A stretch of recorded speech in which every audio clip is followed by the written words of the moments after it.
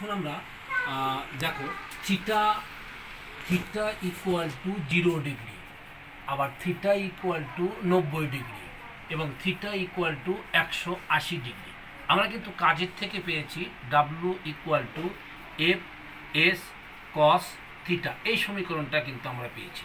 এখন theta equal to zero degree অর্থাৎ থিটার মান যদি জিরো ডিগ্রি হয়, কখন থিটার মান জিরো ডিগ্রি আমরা এর আগে কিন্তু আলোচনা করেছি, যখন বল এবং সরণ একই দিকে হবে, তখন এদের মধ্যবর্তী কোণ জিরো ডিগ্রি হয়। তাহলে দেখো এফ এটা হলো S cos zero degree cos zero ডিগ্রির মান হচ্ছে ওয়ান তাহলে W equal to F S তাহলে theta equal to zero degree যখন হবে, তখন এই- বল দ্বারা যে কাজ হবে, কাজটা হবে ধনাত্মক। এই বল দ্বারা যে কাজটা হবে, সেই কাজটা হবে ধনাত্মক।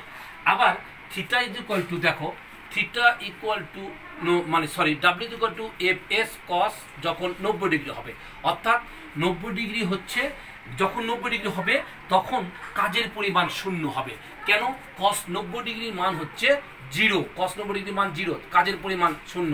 আমরা বলেছিলাম ওই যে দেওয়ালের যে একটু আগে যেটা দেওয়াল নিয়ে আলোচনা করেছিলাম, সেই ক্ষেত্রে কাজের পরিমাণ কিন্তু শূন্য।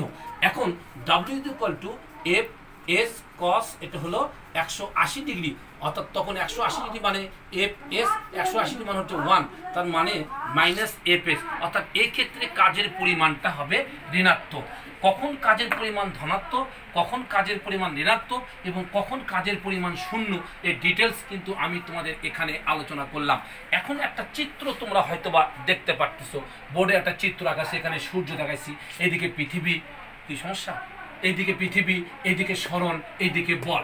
এখন এটা দ্বারা আমরা কি বুঝাবো? এই ক্ষেত্রে আমরা মহাকর্ষ বল দ্বারা সম্পাদ্য কাজের পরিমাণ শূন্য হয়, সেই জিনিসটা আমরা এটা দেখাবো। তাহলে কি দেখাবো? মহাকর্ষ বল দ্বারা, মহাকর্ষ বল দ্বারা কাজের পরিমাণ শূন্য হয় এই বিষয় নিয়ে আমরা এখন আলোচনা করব। কি আলোচনা করব? যে, সেটা হলো যে পৃথিবী কিন্তু পৃথিবীটা কি করে? সূর্যের চারিপাশে ঘুরছে।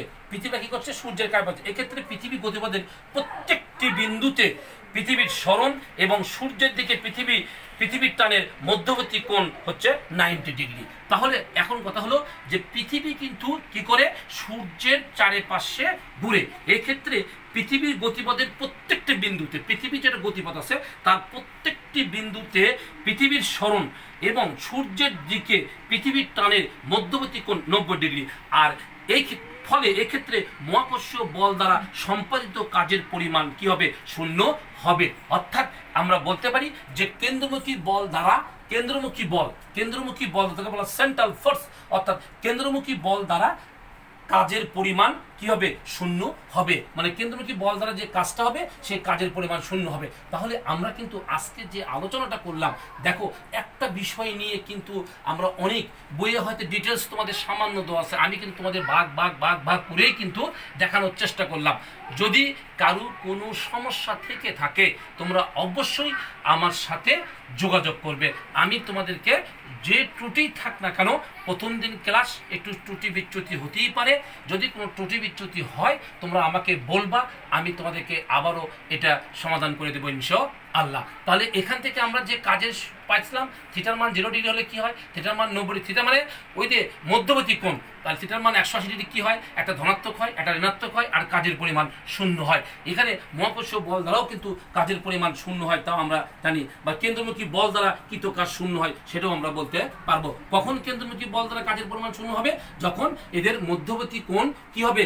নব্বই ডিগ্রি হবে। দেখো, এখানে কিন্তু এই স্মরণ, বল এবং স্মরণের মধ্যবর্তী কোণ এখানে নব্বই ডিগ্রি, অর্থাৎ নব্বই ডিগ্রি হবে, তখন কিন্তু কাজের পরিমাণ শূন্য হবে। এবং মহাকর্ষ বল দ্বারা সম্পাদিত কাজের পরিমাণও শূন্য হবে এটা আমরা এটা আমরা বুঝতে পারলাম। তোমরা যদি কারও সমস্যা থাকে, আমার এই নাম্বারটা zero one seven six one, এটা হলো ফাইভ সিক্স, এটা হলো ফাইভ এইট নাইন নাইন, এই নাম্বারে যদি কারও মনে না থাকে, অনেক দিনের পরে তো মনে নাও থাকতে পারে, এই নাম্বারে আমার সাথে যোগাযোগ করবা। আমি তোমাদেরকে চেষ্টা করব তোমাদেরকে সার্বিক সহযোগিতা করার জন্য।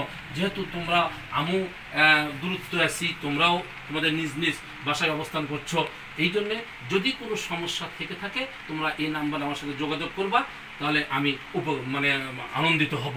কারণ তোমাদের, তোমরা, তোমাদেরকে শেখাতে পারলে আমি খুশি, আর তোমরা শিখতে পারলেও আমি খুশি। অর্থাৎ তোমরা যেন ভালো করে পারো, এই জন্যেই আমি চেষ্টা করতেছি।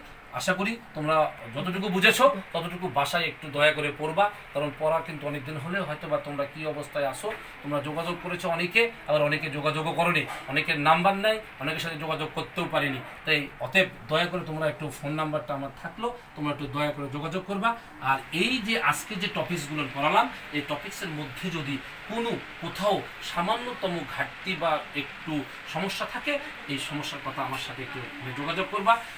হোক, প্রথম দিন ক্লাস কোনো সমস্যা হলে সেটা আমার সাথে যোগাযোগ করব। ইনশাল্লাহ তোমরা ভালো থাকো সুস্থ থাকো। আমার জন্য দয়া করো। খোদা হাফেজ। বাংলাদেশ।